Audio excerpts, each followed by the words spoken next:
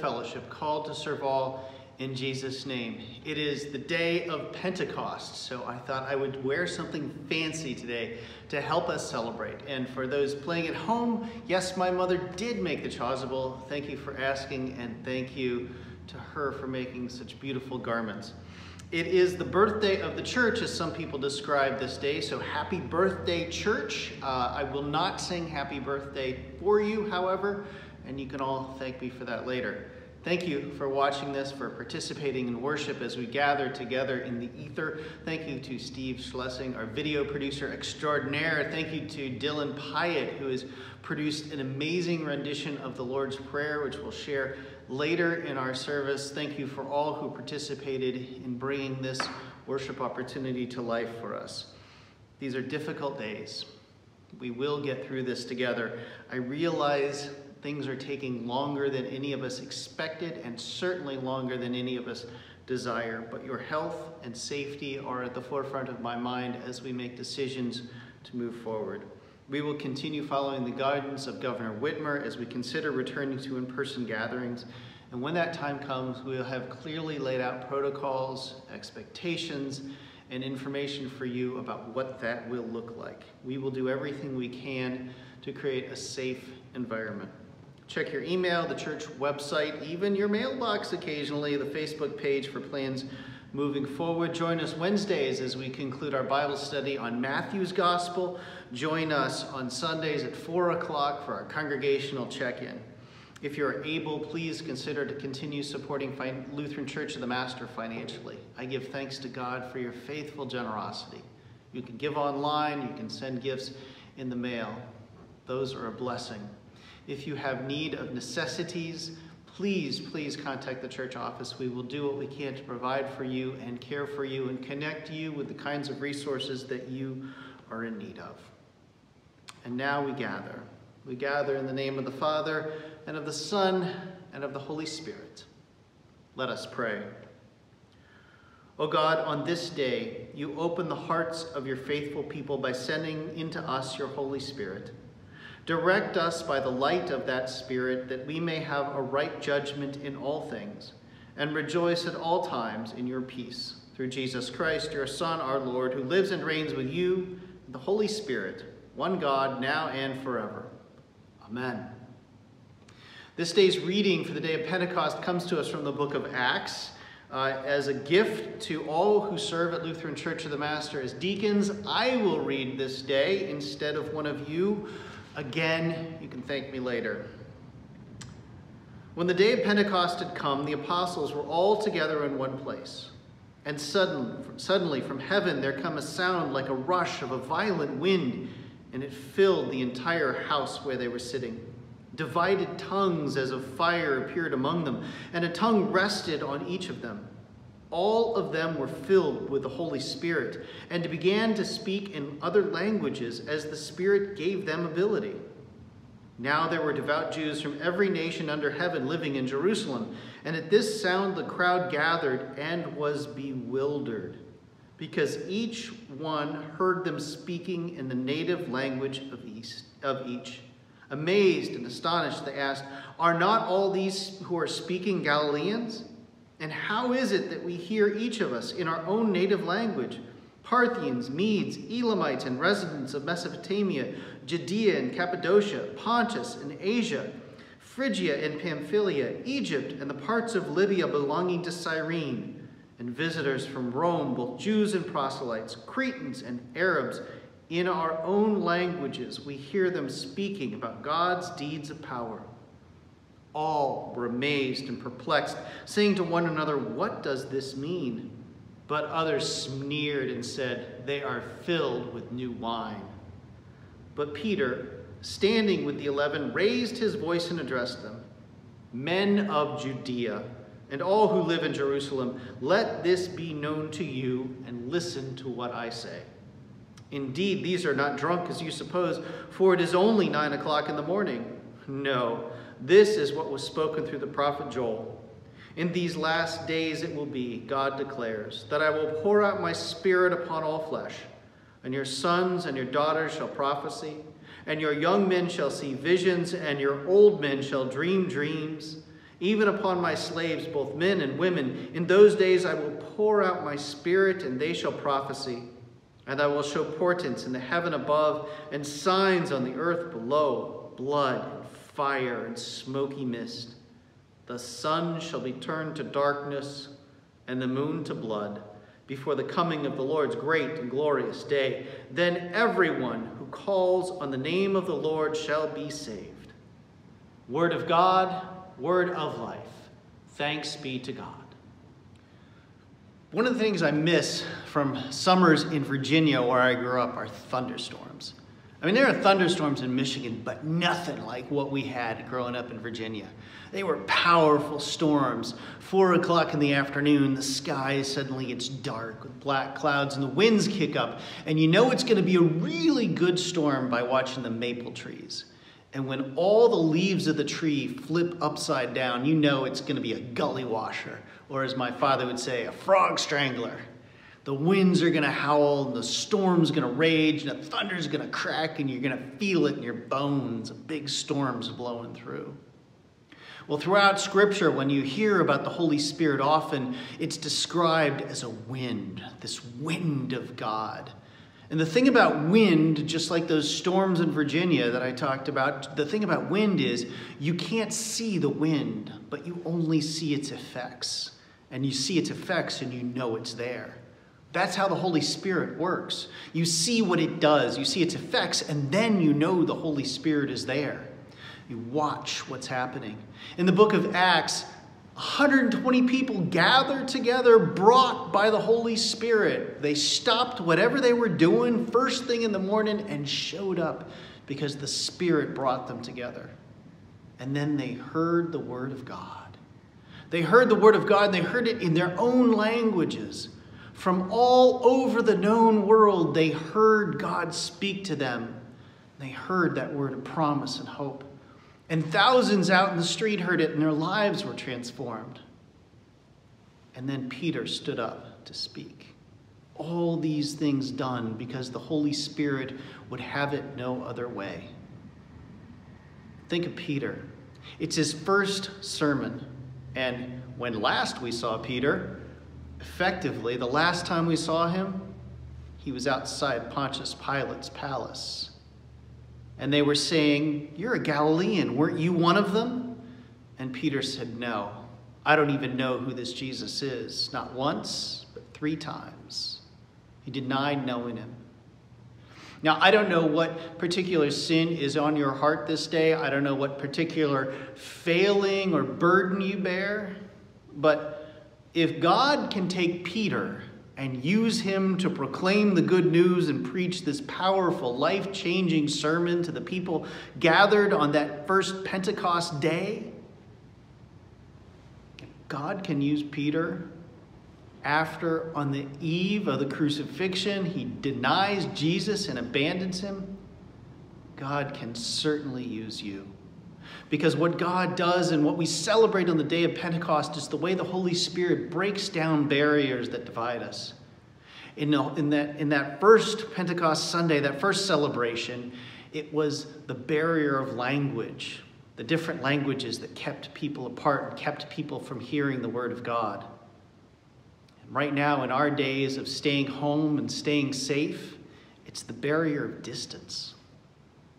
I don't know about you, but I didn't really know anything about the 19 epi 1918 flu epidemic until very recently. Wasn't on my radar, wasn't something I paid attention to. And now I think about what life must have been like in the middle of that, and I think too, but given my role, I think about pastors suspending worship in 1918. They didn't have the internet, videos, and all this kind of stuff. Did they just like print out sermons they sent to people's homes once a week? How did they stay connected? It wasn't like they could go visit them. They were supposed to be sheltering in place too. But we have this gift because the church is not closed. Our in person worship might be suspended, but the church is not closed. We are open. We are here. We are proclaiming the good news of God. And if in January you had told me that within a few weeks from now, tens of thousands of churches around the world are suddenly going to have these online worship experiences that they'd never had before and never talked about, I'd say you're crazy. But that happened because the Holy Spirit wouldn't have it any other way. That's the Pentecost celebration the wind of the Holy Spirit blowing into our world and into our lives.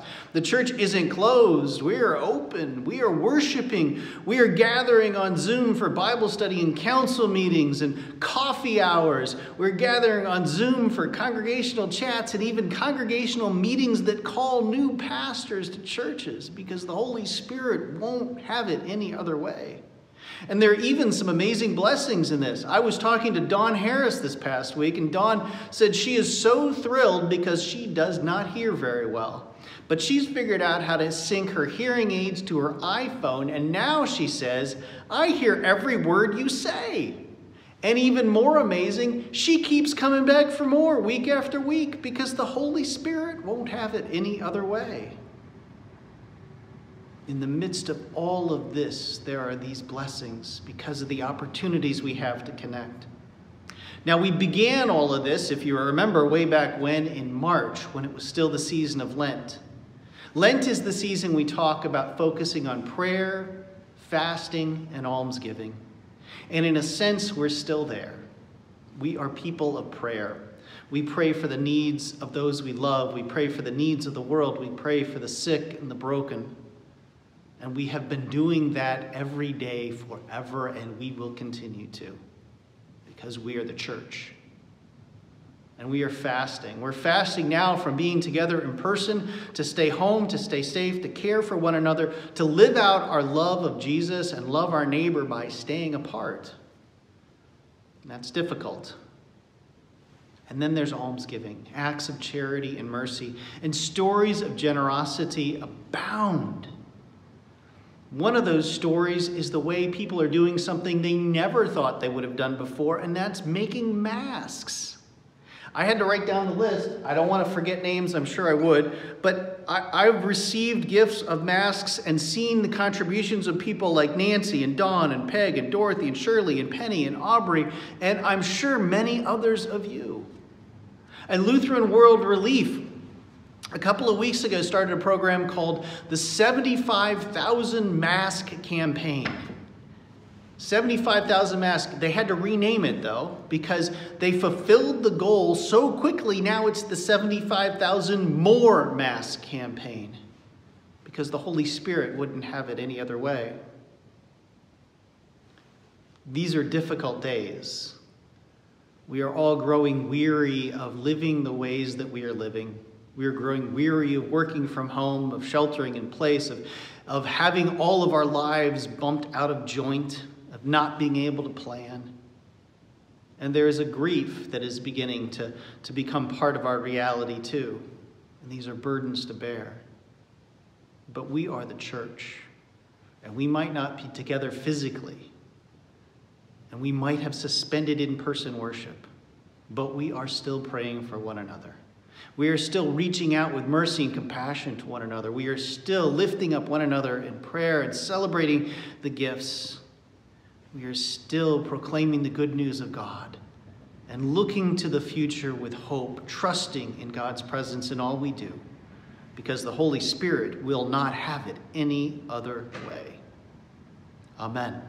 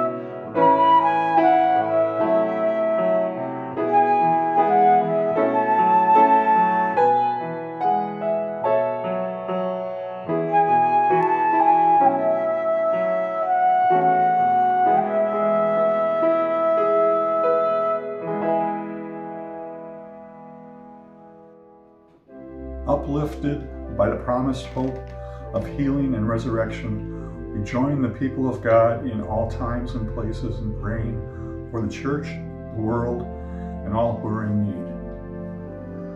We call on your spirit of unity, giving thanks for our different vocations. Activate and utilize the diverse gifts present in your church, that they reveal your love for all. Lord, in your mercy, hear our prayer. We call on your spirit of life present in air, wind, humidity, storms, and oxygen in our atmosphere, breathing energy into all things. Heal with your breath the whole creation, especially those who struggle to breathe due to air pollution. Lord, in your mercy, hear our prayer. We call on your spirit of righteousness whenever we as a people are divided. Unite us. Whenever we are prideful, humble us. Give each one of us a heart for justice and empathy. Lord, in your mercy, hear our prayer. We call on your spirit of healing. Bless doctors, nurses, midwives, chaplains, counselors, and hospice workers as they care for those in need.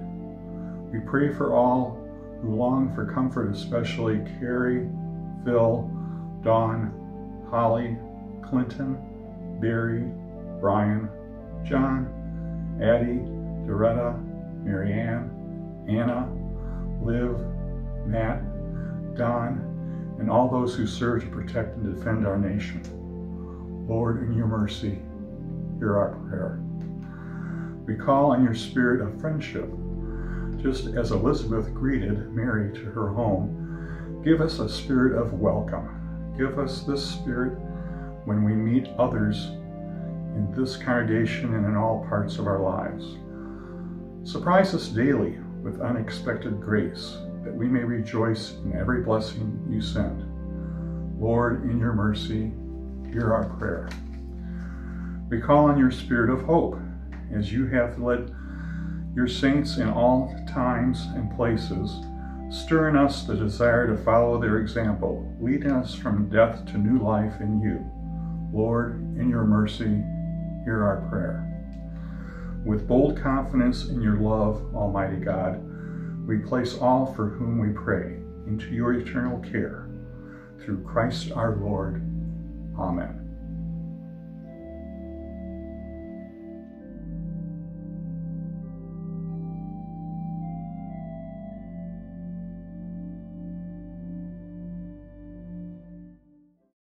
Our Father who art in heaven, hallowed be thy name. 我们在天上的父，愿人都尊你的名为圣。 Vater unser im Himmel, geheiligt werde dein Name. 愿你的国降临。我们在天上的父， Vater unser im Himmel, geheiligt werde dein Name. Diyan ka kailangan awal, Santa Tasik mga tawad. Thy kingdom Come, thy will be done, on earth as it is in heaven. 愿你的旨意行在地上，如同行在天上。Vater unser im Himmel, geheiligt werde dein Name. 願你的國降臨，愿你的旨意行在地上，如同行在天上。我們日用的飲食，今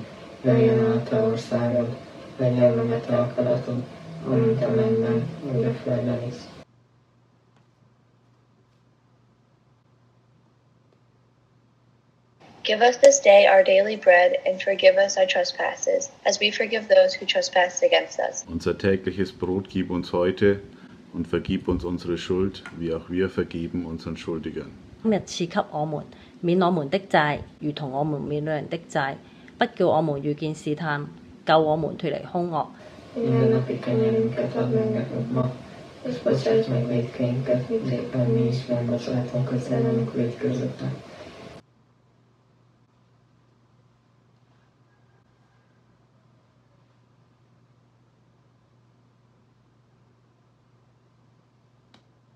And lead us not into temptation, but deliver us from evil. Und führe uns nicht in Versuchung, sondern erlöse uns von dem Bösen. 不叫我们遇见试探，救我们脱离凶恶，因为国度、 Islam ini kat kisah tazma. Beszabadíts meg a gonosztól. 因如同我们免了人的债，不叫我们遇见试探，救我们脱离凶恶。 For thine is the kingdom, and the power, and the glory, forever and ever. Amen. Denn dein ist das Reich und die Kraft und die Herrlichkeit in Ewigkeit. Amen. 权柄、荣耀，全是你的，直到永远。阿门。 Denn dein ist das Reich und die Kraft und die Herrlichkeit in Ewigkeit. Amen. 因为国度、权柄、荣耀，全是你的，直到永远。阿门。 Denn dein ist das Reich und die Kraft und die Herrlichkeit in Ewigkeit. Amen.